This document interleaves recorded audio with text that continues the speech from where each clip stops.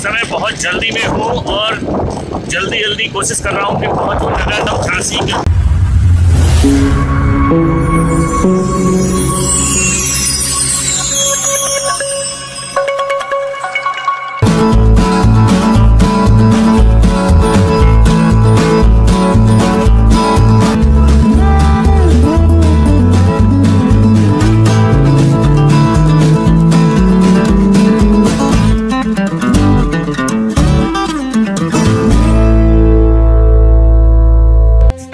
नगर निगम झांसी के कर्मचारियों की गुंडागर्दी दिन पर दिन बढ़ती चली जा रही है।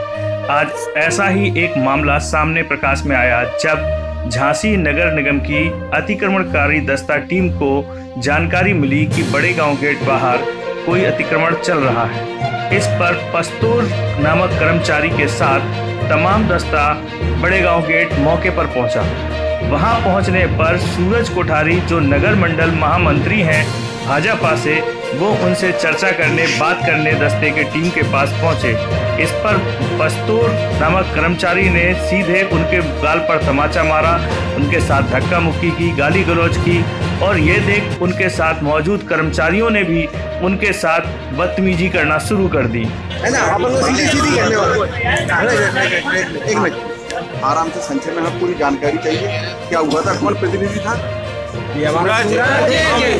अरे बेटा तू अपनी बात बता तू अपनी बात बता सूरज भाई आप आप संक्षेप में बता देना क्या नाम है आप मेरा नाम कुशवाहा है। जी। गाँव गेट बाहर भारतपुरा का निवासी हूँ। मेरे घर के पास कुछ अतिक्रमण वाले गए हुए थे।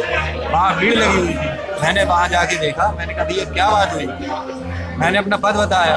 तुम मेरे को गाली देने लगे? क्या पद है मान- मैं शिवाजी नगर मंडल से मंडल महामंत्री हूँ। मैंने वहाँ परिचय दिया तो वो माननीय योगी जी को गाली देने लगे और शब्द बोलने लगे उनके बारे में। जो इनका दस्ता गया हुआ था नगर निगम ड्रेस पहने हुए थे। हम उनकी इज़्ज़त करते हैं उनकी वर्दी की इज़्ज़त करते हैं इसलिए हम लोगों ने कुछ नहीं बोला उनसे। लेकिन जब मैंने पूछा तो उन चार जन ने पकड़ के एक ने मेरा गला पकड़ा एक डंडा लिए हुए था तो इससे मुझे मारने लगे। अब यहाँ पर क्या कार्रवाई चाहते हैं? उन्हें बर्खास्त उनके बर्खास्त किया जाए क्योंकि ये घटना कई लोगों के साथ हो चुकी है। जब सूरज कोठारी ने अपना पद और परिचय दिया तो इस पर पस्तूर और भी ज़्यादा भड़क गया और उसने कहा कि जाओ मैं किसी बीजेपी वाले से नहीं डरता ना मैं मोदी से ना मैं योगी से डरता हूँ। दोस्तों ये बवाल तब और बढ़ गया जब ये खबर आग की तरह भाजपा के सभी कर, कार्यकर्ताओं के बीच फैली।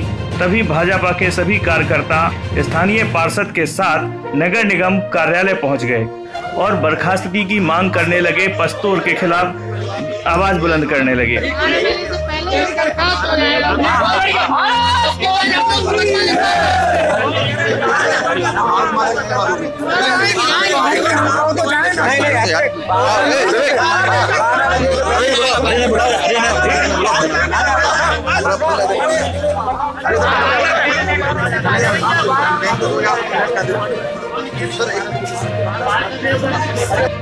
इस पर नगर निगम के अधिकारी सामने आए और उन्होंने मामले को संज्ञान लिया। सर इस मामले को लेकर जो नगर निगम ने मोबाइल पीछे भाई साहब हम मोबाइल जानते देंगे आपको। क्या आश्वासन दिया सर आप अगर आयुक्त साहब से बात हो गई। है मांगों पर सहमति व्यक्त की गई है और ये आश्वासन इनको दिया गया है। कल बारह बजे से पहले इनको पत्र दे दिया जाएगा इस संबंध तो सर अगर मान लीजिए अगर जैसे लोगों की जो मांग है जमाई है क्या परिपूर्ण क्या परिपूर्ण करने के लिए आप लोगों को वचनबद्ध हैं? नहीं आश्वासन नगर आयुक्त साहब से बात हो गई है बात हो गई। दिया है। कह दिया। और कोई बात नहीं एक लाइन ये बात। है। के पीएम साहब के साथ।